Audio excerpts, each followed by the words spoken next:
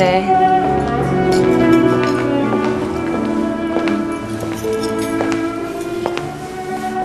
많이 먹어요.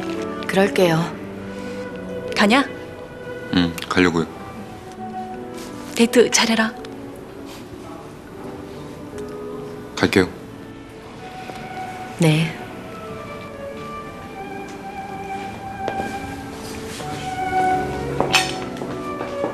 아, 쟤 때문에 오늘 또 술 마셔야겠네.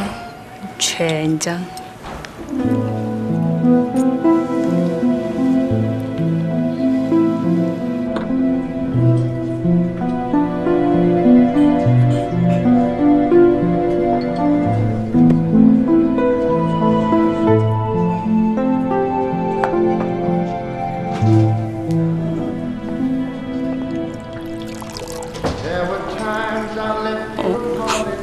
쟤 좀 봐라. 어떻게 여기 또 앉아 있냐?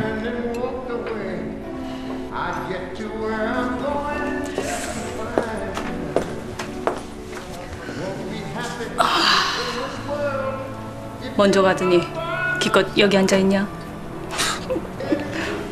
근데 그 아가씨 어디 있어? 화장실?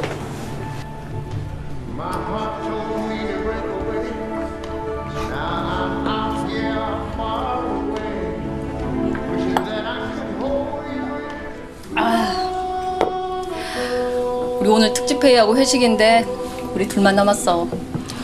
우리 5월 가정의 달 특집인데 아이디어 없냐? 뭐 가족에 관한 노래들로 하면 되겠네. 프로벤자의 내 고향으로 같은 노래들. 너 어젯밤에 내통했냐? 왜요?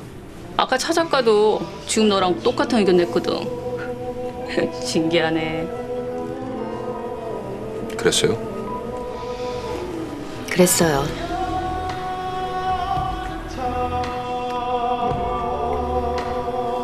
근데 넌 여자는 어쩌고 네 혼자냐고. 뭐 아직 술을 같이 마실 정도는 아니에요. 네가 여자를 만나고 있으니까 참 이상하더라. 그 오늘따라 유달리 시끄럽네.